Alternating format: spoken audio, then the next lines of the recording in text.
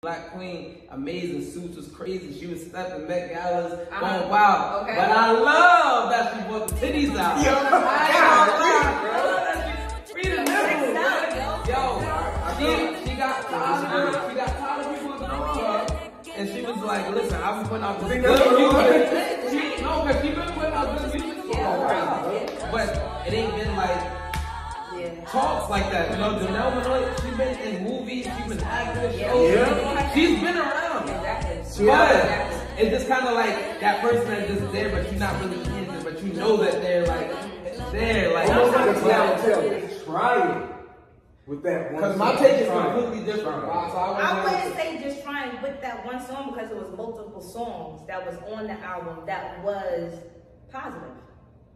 Or leading, you know what I'm saying? I Or feel like the, the fact that that was a hit, it just. You know what I'm saying? But that that single definitely yes. Mm-hmm. Like it, it was in, in All a my way. life. No, I'm saying was it positive songs? I, would, I wouldn't say the whole album was, but you can see that it matched up with the title of the album. Like you know what I'm saying?